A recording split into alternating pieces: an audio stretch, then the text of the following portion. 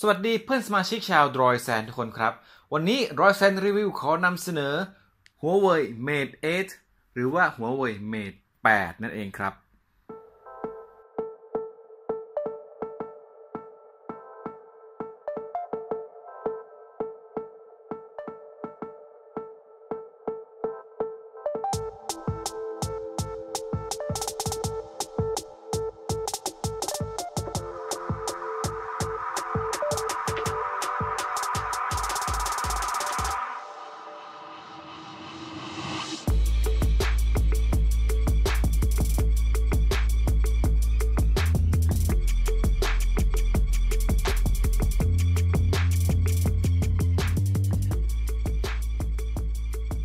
เมื่อแกะกล่อง Huawei Mate 8 ออกมานะครับ ภายในก็จะมีตัวเครื่อง Huawei Mate 8 นะครับ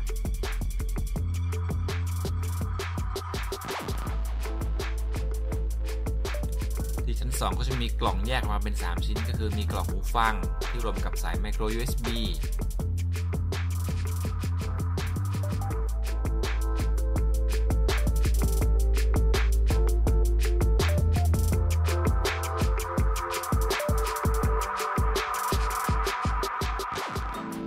กล่องหม้อแปลงหรือว่าอะแดปเตอร์นะครับ อันนี้ก็จ่ายไฟระบบ fast charge ด้วยเพราะว่าตัวเครื่อง Mate 8จะรองรับ fast charge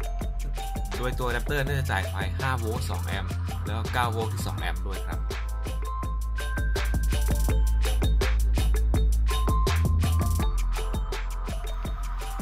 กล่องสุดท้ายก็จะมีเข็มจิ้มถาดซิมนะครับ แล้วแกะออกมาข้างในก็จะมี smart case ครับที่เป็นเคสแบบฝาพับแถมมาให้ด้วยเลย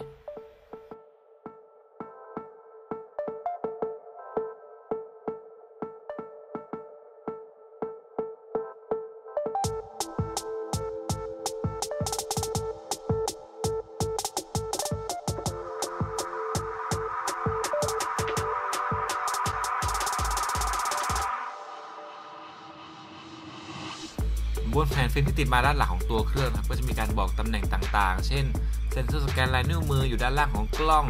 NFC อยู่ด้านบนทางขวานี่จะเป็นตัวถาดซิมทางก็ต่อเข็มจิ้มออกมาโดยที่ตัวถาดก็จะเป็นถาดสำหรับนาโนซิมทั้ง 2 ช่องนะครับ ส่วนช่องที่ 2 เนี่ย ก็จะเป็นไฮบริด คือสามารถจะเลือกใส่นาโนซิมหรือว่าใส่ micro SD card ก็ได้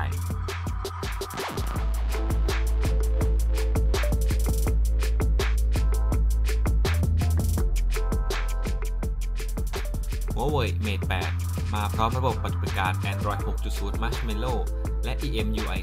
4.0 หน้าจอมีขนาด 6 นิ้ว ความละเอียด Full HD CPU ที่ใช้เป็น Kirin 950 Octa Core ความเร็วสูงสุด 2.53 GHz GPU Mali T880 MT4 มีหน่วยความจำภายใน 64 GB มีแรมให้ 4 GB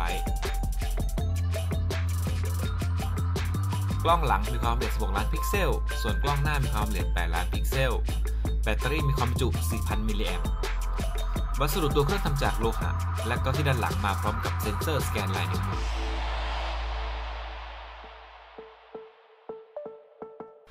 EMUI เวอร์ชัน4 ที่มีให้ใช้งานบน Huawei Mate 8 นะครับ ก็จะเป็นระบบหน้า home ที่ หลายๆคนที่ใช้ Huawei น่าจะคุ้นอยู่แล้ว คือมันจะมีตัว app drawer หรือว่าเป็นลิ้นชักเก็บแอป เวลาลงแอปใหม่ๆเข้าไปเนี่ย ก็จะรวมอยู่ที่หน้าจอหลักทั้งหมดเลยนะครับจะมีการเพิ่มหน้าเข้าไปเรื่อยๆเรื่อยๆเรื่อยๆนะครับ จากที่ลองใช้งานมา 3-4 วันนะครับ ก็ยังไม่เจอปัญหากระตุกค้างหรือว่ารีสตาร์ทเลยนะครับ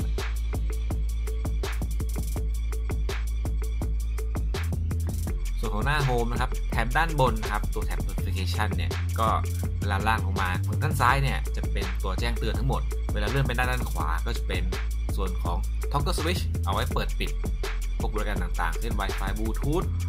เพราะว่า Mate 8ยังมีฟีเจอร์หน้าต่างคู่นะครับคือสามารถจะเปิดใช้งาน 2 แอปได้พร้อมกัน วิธีการเลือกใช้งานก็แค่กดปุ่ม Recent App นะครับปุ่มแอปล่าสุดที่เป็นรูปสี่เหลี่ยมนี่แหละค้างเอาไว้นะครับแล้วก็จะมีหน้าจอขึ้นมาให้เราเลือกแอปที่เปิดใช้งาน แต่ว่าก็จะมีข้อจำกัดอยู่นิดนึงตรงที่ว่าไม่ใช่ทุกแอปที่จะรองรับการใช้งานในโหมดนี้นะครับ ก็จะมีให้เลือกแค่บางแอปเท่านั้น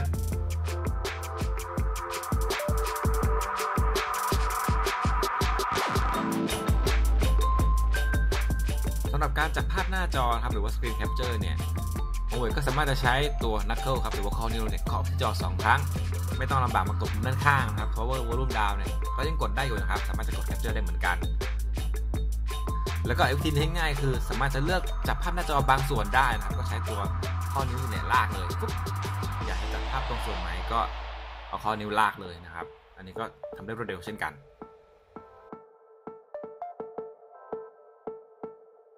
ส่วนการใช้งานหน้าจอ6นิ้วในบางครั้งนะครับ การถือใช้งานมือเดียวมันก็ลำบากนะครับ ใน Huawei Mate 8ก็จะมี One Hand Mode นะครับ ให้เราสามารถที่จะ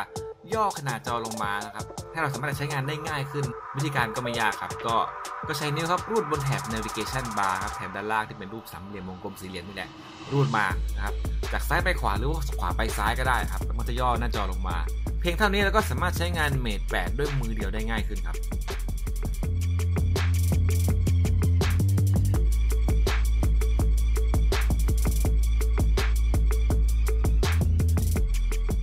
ระบบ Fingerprint Scan หรือว่า Sensor Scan ลายนิ้วมือนะครับ อันนี้ก็จะมีการตั้งพินก่อนครับพอตั้งพินเสร็จแล้วเนี่ย เราก็จะสามารถเอานิ้วไปแตะที่ด้านหลังครับทำการสแกนนิ้วได้ ซึ่งแนะนำก็คือว่าพยายามแตะนิ้วเดียวครับ แตะแต่ละหลายมุม ก็จะได้ไม่ต้องมาหามุมนะครับ คือมันจะจำได้แทบทั้งนิ้วเลย อันนี้ก็ถือว่ารวดเร็วแล้วก็ใช้งานได้ง่ายมากครับ พอเราแตะครบประมาณ 5-6 ครั้งเนี่ย มันก็จะจำเข้าไปแล้วนะครับ แล้วก็เวลาจะกดล็อกก็เร็วขึ้นกว่ารุ่นเก่าแทบจะร้อยเปอร์เซ็นต์ครับ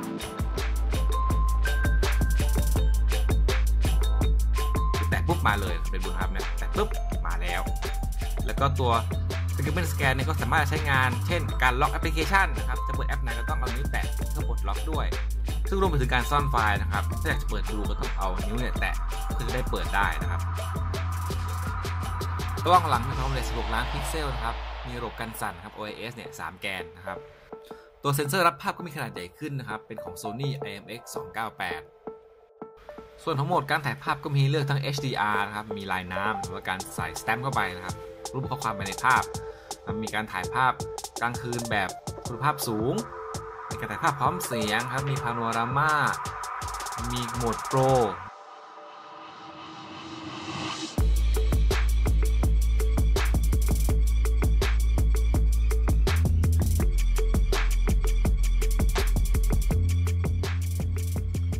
ดโปรครับก็สามารถจะปรับตั้งค่าต่างๆ ได้ครับ ไม่ว่าจะเป็นเรื่องของ shutter speed ISO white balance ระยะโฟกัสคือมันปรับทุกสิ่งอย่างนะครับตัว shutter speed ที่ช้าสุดที่เปิดได้คือ 8 วินาทีนะครับ แต่ว่าในโหมดพวก light painting นะครับเนี่ยเราสามารถจะเปิด shutter speed ได้นานกว่านั้นนะครับส่วน white balance เช่นกันครับ นอกจากจะปรับในเรื่องของอุณหภูมิสีตามสภาพแสงได้แล้ว ก็ยังจะมีแถบเขาวินนะครับแล้วเลือกปรับได้ตามความสะดวกครับก็เลื่อนปรับได้เลยนะครับอันนี้ก็เป็นตัวอย่างภาพถ่ายบางส่วนที่ถ่ายมาด้วย Huawei Mate 8ครับ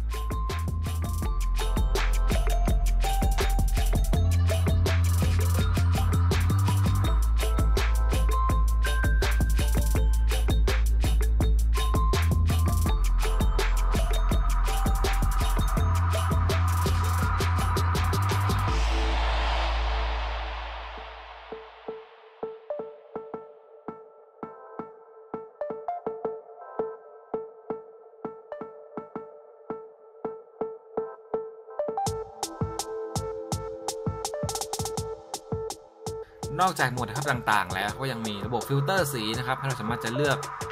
ถ่ายภาพนะครับโดยแบ่งเป็นฟิลเตอร์สีต่างๆ ได้ทั้งหมด 9 แบบด้วยกันนะส่วนการเปลี่ยนโหมดถ่ายภาพก็ง่ายนิดเดียวครับก็แค่สไลด์นิ้วไปมาซ้ายขวาครับก็จะมีทั้งแบบโหมดการถ่ายภาพปกติ การถ่ายวิดีโอครับถ่ายภาพแบบหน่วงเวลาทางด้านซ้ายก็จะมีโหมดถ่ายภาพนะครับเป็น beauty mode สามารถเลือกปรับระดับความสวยได้ หน้าเนียนหน้ากลมหน้าแหลมแค่ไหนก็ปรับได้ครับ แล้วก็อีกโหมดหนึ่งก็จะเป็นโหมด light painting นะครับสามารถจะถ่ายภาพพวกแสงไฟท้ายรถ การเอาไฟมาวาดเป็นตัวอักษร หรือว่าถ่ายภาพดาวครับ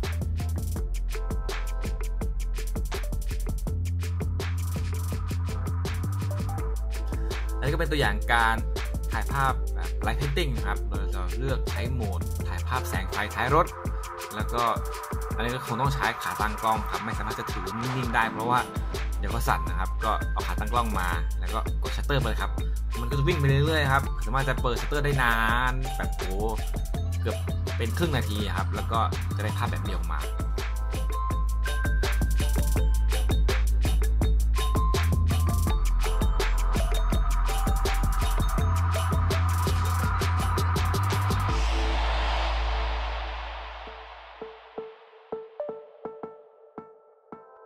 อีกโหมดหนึ่งที่อยากจะแนะนำครับ คือโหมด all focus หรือว่าชัดทุกจุดนะครับ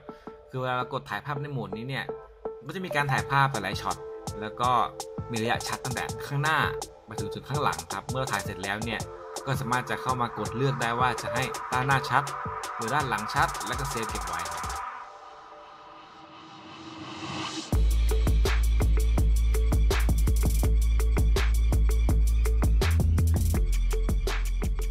ส่วนชิปตัวใหม่ Kirin 950 ครับ แรงแค่ไหน AnTuTu ได้ไป 88,207 คะแนน Geekbench single core ครับ ได้ 1,693 multi core ได้ 5942 นะครับเหมือนผมจะลืมพูดถึงกล้องหน้าไปครับกลับมากล้องหน้าก่อนนะครับเออกล้องหน้าความละเอียด 8 ล้านพิกเซลครับ กล้องเซลฟี่ตัวนี้โฮเว่ยก็จะมีเรียกว่าเป็นกิมมิคเล็กๆครับ เวลากดถ่ายภาพเนี่ย มันจะมีมุมด้านบนขึ้นมาให้เรามองว่าให้มองมาตรงนี้จะได้เป็นการมองกล้องนะครับ ระดับความสวยก็สามารถจะปรับได้ตามแถบด้านล่างนะฮะ นอกจากนั้นก็ยังมีเซลฟี่พาโนรามาครับก็ถ่ายภาพเซลฟี่แบบมุมกว้างนะครับ ก็ชัตเตอร์ปุ๊บถ่ายภาพตรงกลางก่อนแล้วก็บิดซ้ายบิดขวาก็จะได้ภาพพาโนรามาออกมานะครับ อันนี้ก็ถือว่าทำได้ง่ายจริงๆคือมีมาก่อนซัมซุงอีกนะไอตัวนี้เนี่ยแต่ว่าคนไม่ค่อยรู้กัน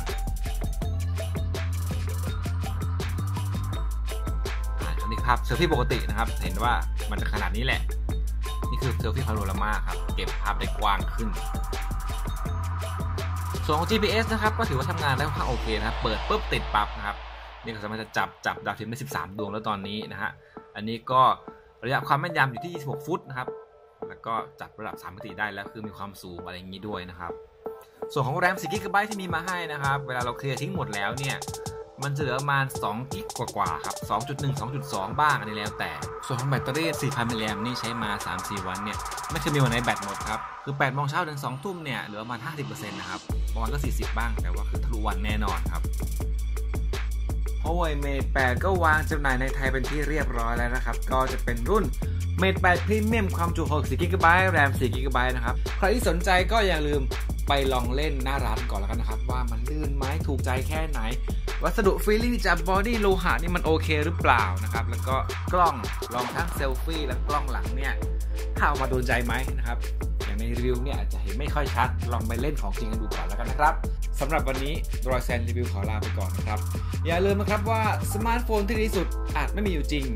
แต่สมาร์ทโฟนที่เหมาะกับคุณที่สุดนั้นมีอยู่แน่นอนครับ สวัสดีครับ